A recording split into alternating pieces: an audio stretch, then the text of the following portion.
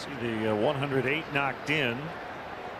Soriano four behind the uh, league leaders going into play. That kicks away from the third baseman Ransom. Another Diamondbacks error. And another Cubs run 6-2. He won't get an RBI. The Cubs now lead by four. A lot of red ink on the scorecard here the last couple of innings.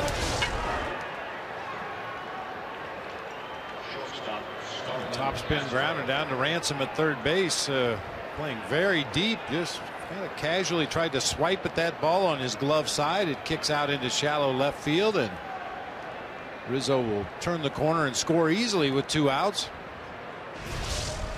Thank you.